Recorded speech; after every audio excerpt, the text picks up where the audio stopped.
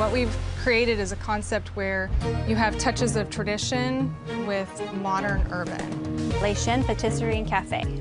We like to blend a little bit of the old world with new, so we would like to do a black brick wall.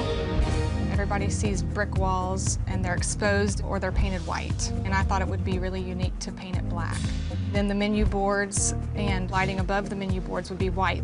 A lot of the design concept was built around glorifying the oak. We thought it would be interesting to draw your attention to the tree rings, some organic edges, and then a tree root system from the ceiling with lighting hanging from it. So, let's talk about the name. Lachine? Les Chênes means the oak tree. Okay. So I just made a point to you. Le Chien is not a name that you can remember. You're going to have a lot of people who can't even pronounce it. And they're going to say, now what's that lace over there with pastries? La, la, what? It's a hard brand name to build. Okay. So ladies, I have a pretty strong opinion. Overall, it's just not luxury enough. I agree.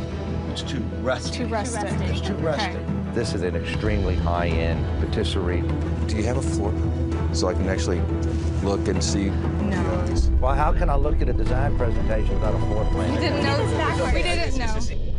Billion Dollar Buyer. Premiere episodes Tuesdays at 10. CNBC. Get yours. Hey, CNBC fans, thanks for checking out our YouTube channel. Here you'll find videos from all your favorite CNBC shows. Be sure to subscribe by clicking right here. Click on the videos around me and watch the latest from CNBC. Thanks for watching.